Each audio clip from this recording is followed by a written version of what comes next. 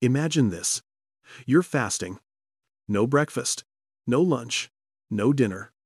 Just water and something stronger than hunger, a deep curiosity about your own body. And the real question isn't how hungry will you get, but rather what's really happening inside your kidneys, those humble but mighty organs when food stops coming in. We often hear about the heart, the brain, or the liver when it comes to health. But rarely do we talk about the kidneys, the silent survival engines working 24 7ths, filtering over 180 liters of blood every day, without complaint, without rest, keeping you alive every second. So what happens when you stop eating when there's no protein, no sugar, no salt coming in? Do your kidneys get to rest? Or do they begin a whole new process of repair and regeneration that science is only now beginning to understand? In this video, we'll walk through each phase of fasting from hour 1 to day 7 and uncover a stunning truth. Your kidneys don't weaken, they heal. From reducing inflammation, oxidative stress, to activating regenerative genes, the quiet work your kidneys do in the background could be the greatest biological magic show you never noticed. If you're someone who's fascinated by science, health, and the human body's miraculous resilience, then subscribe to this channel now and watch all the way to the end. Because today's insights might change how you think about food, healing, and the silent power of your own kidneys. And hey, if you hit that subscribe button, every click counts. Every sub builds a community of people who are ready to learn, heal, and evolve together. Phase 0 12 hours. When the kidneys stop processing orders and start cleaning house, most of us treat the kidneys like tireless machines, plug them in, and they work forever. No breaks, no burnout, no maintenance required. But that couldn't be further from the truth. After every meal, your kidneys jump into overdrive, filtering out everything you just consumed. Excess protein, salt, sugar, additives, medications, even the caffeine from that just one more iced coffee. They're like an overworked logistics employee, swamped with 200 new orders a day, never getting a chance to clean their desk or update their system. All resources go toward incoming packages. And no one asks, hey, does the repair team need a break? Then something interesting happens. When you begin fasting specifically from the 4th to 12th hour after your last bite, insulin levels start to drop. This is the body's quiet signal. Heads up, no more food coming. Time to switch gears. And for your kidneys, it's the long-awaited low-order day. Pressure eases, the machines slow down, and internal repairs can finally begin. With the flow of dietary waste reduced, the kidneys can reroute energy from processing to repairing. Broken proteins, dead cells, cellular debris, all the things on the someday cleanup list finally get addressed. This is the beginning of what scientists call a silent restoration phase. No applause, no spotlight, but inside your body, kidney cells quietly go to work reducing inflammation, balancing filtration pressures, and tidying up microvascular structures that have been working non-stop for months, even years. Research from 2025 showed that even after just 12 hours of fasting, markers of inflammation in kidney tissue began to drop measurably, like extinguishing a fire you didn't even know was smoldering in your basement. And this is just the start. Fasting isn't self-punishment. It's a biological opportunity, a gift of time and space for organs like your kidneys, who have served you loyally 24 7 without ever asking for a day off. Now, they finally get one. Hours 12, 24. When your kidneys start putting out silent fires, if the first stage of fasting gave your kidneys a chance to catch their breath, then this second phase is where they silently begin to heal. Here's the twist. Something crucial is happening inside you.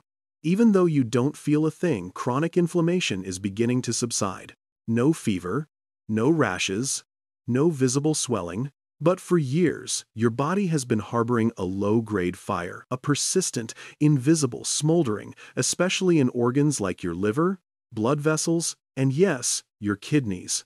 It doesn't scream for attention, but this kind of inflammation is one of the primary drivers of long-term kidney damage. It gradually scars the nephrons, the microscopic, elegant filtration units inside your kidneys. And yet, by hours 12 to 24 of fasting, that silent fire is starting to fade. Why? Because as insulin levels drop, your body stops getting the message that says, more food is coming, keep storing. Instead, it shifts into repair mode. Inflammatory markers like TNF alpha and IL 6 begin to decline. And oxidative stress, that insidious biological rust that damages cells, begins to lift. A 2025 study found that people practicing intermittent fasting had significantly lower inflammation in kidney tissue, and oxidative stress levels became much more manageable. In other words, fasting doesn't just cut calories, it helps extinguish the slow burn, damaging your kidneys.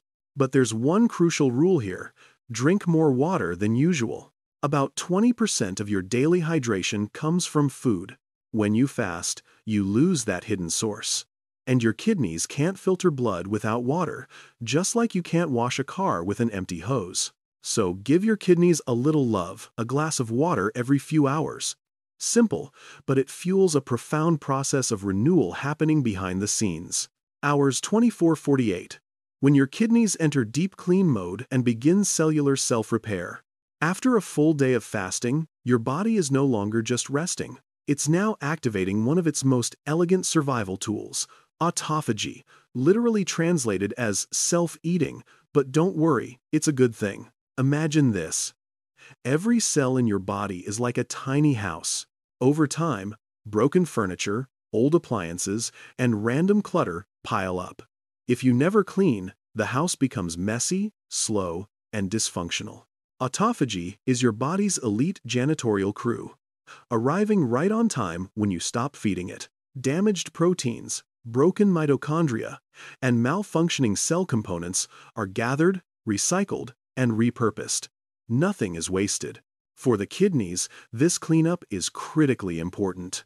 The nephron, the microscopic blood filtering unit, is delicate and precise, but highly vulnerable to cellular debris buildup. Left unchecked, these internal trash piles can cause fibrosis, gradually impairing the kidney's ability to filter blood effectively. Recent studies show that autophagy dramatically reduces fibrosis risk, especially in people with chronic inflammation or early nephron damage. You can't see autophagy, but by fasting strategically, you give your kidneys a rare chance to detox at the cellular level. This isn't some influencer's juice cleanse. This is a survival program encoded in your DNA, handed down by ancestors who thrived without 24-7 food access. Fasting is not punishment. It's the switch that activates one of your body's most powerful built-in repair systems. Hours 48-72. When ketones peak and become healing fuel for your kidneys. By day two of fasting, your body enters an entirely new metabolic state. Your liver starts producing ketones, clean-burning energy molecules made from stored fat. But ketones aren't just backup fuel. They're premium fuel with built-in healing properties. At this stage, beta-hydroxybutyrate, BHB, the star ketone, does more than power your cells. It sends anti-inflammatory signals, reduces oxidative stress, and triggers powerful anti-aging mechanisms throughout your body. For your kidneys, ketones are like an elite repair team that also brings energy. Recent studies show that ketones can slow the process of fibrosis in kidney tissues, a key factor in chronic kidney disease and loss of filtration function. A 2024 study of over 500 patients with polycystic kidney disease found something remarkable. Those with higher ketone levels experienced slower decline in kidney function than those with lower levels. In other words, ketones are not just fuel, they're protective messengers at the cellular level. Scientists now refer to ketones as superfuel, not just because they energize your cells, but because they also instruct them to resist damage, repair themselves, and perform better. And the best part? You don't need expensive drugs to unlock ketones. All it takes is strategic fasting, and your body will flip the switch all on its own. Days 3-5 when genes reactivate and your kidneys begin to regenerate. If the first two days of fasting give your body time to rest and clean house, then day three marks the start of something far more extraordinary. Your body doesn't just repair, it begins to regenerate.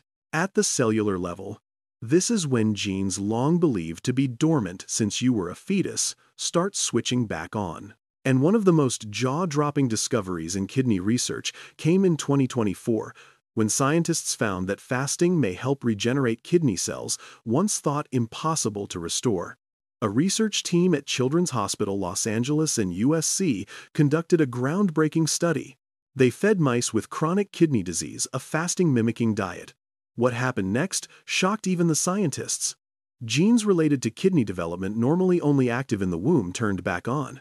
Specifically, podocytes specialized kidney cells that wrap around blood vessels and filter waste began to regenerate. This was previously believed to be impossible. In adults, podocytes don't divide. Once lost, they were considered gone for good. But this study flipped that belief on its head. And it didn't just happen in mice. In a small human trial with 13 patients suffering from chronic kidney disease, those who followed controlled periodic fasting saw kidney protective effects that lasted up to a full year. No drugs, no surgery, just science-backed, strategic fasting. These findings offer a profound truth. Your body, if given the right signals, can accomplish what medicine once thought was beyond reach. And your kidneys, the silent workers filtering your blood every hour, might just have a second chance at life. While fasting may offer profound benefits for kidney health, it is not safe for everyone, especially when it comes to prolonged fasting beyond 24 hours or intensive intermittent fasting. If you have chronic kidney disease, particularly with EGFR below 30, or are currently taking medications for high blood pressure or diabetes, fasting without medical supervision can be dangerous. Medications and electrolyte needs can shift rapidly during fasting, potentially leading to dangerous imbalances for your heart and kidneys. Additionally, you should not attempt extended fasting if you belong to any of these groups. Pregnant or breastfeeding women, individuals with eating disorders, for example, anorexia, bulimia, patients undergoing dialysis, those with a history of severe kidney stones or advanced liver disease. In these cases, fasting may worsen your condition and cause unintended harm. Bottom line, fasting is a powerful biological tool, and the more powerful it is, the more responsibly it must be used. Always consult your doctor if you have any medical conditions before starting. In a world of constant snacking, late-night meals, and endless food availability, our organs, especially the kidneys, rarely get a break. But science now reveals a powerful truth. When you pause, your body repairs. When you stop overwhelming your system, silent heroes like the kidneys begin healing, optimizing, and even regenerating. From reducing chronic inflammation, lowering oxidative stress, to triggering cellular cleanup and regeneration, all of this can be activated not by pills, but by simply giving your body a break through well-timed fasting. Fasting isn't an extreme diet. It's an ancient biological tool hardwired into your DNA, a survival gift from your ancestors. And today, it may be the key to healing, now backed by modern science. If you care about your body, maybe it's time to try less, but smarter. And if you found this science valuable, please subscribe to help us reach our first milestone. Your subscription is a vote for meaningful, well-researched content and for learning to trust your body again. Thank you for watching till the end. Drop a comment if you've tried fasting or are curious about it because your story might inspire someone else to take the first step.